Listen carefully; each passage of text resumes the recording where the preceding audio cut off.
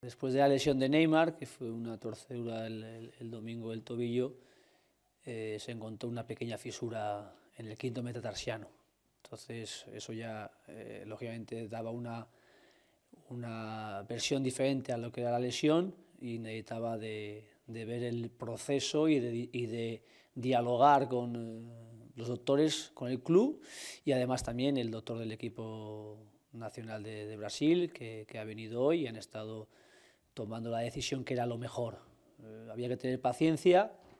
También eh, eh, tenemos un jugador cedido como Guedes en Valencia, que, que, teniendo una fisura eh, ha, jugado, ha jugado, pero al final es inevitable la operación. Entonces, el 10% que el doctor me daba como una opción para poder jugar el, el domingo, pues la, teníamos que mantenerla hasta que se decidiese, se decidiese qué hacer definitivamente. Entonces hoy, hoy han decidido que, hacer cuanto antes la operación y bueno, le, echaremos en falta, pero a la vez pues eh, el equipo está preparado pues para lo que nos da pues eh, que lo hagamos los demás.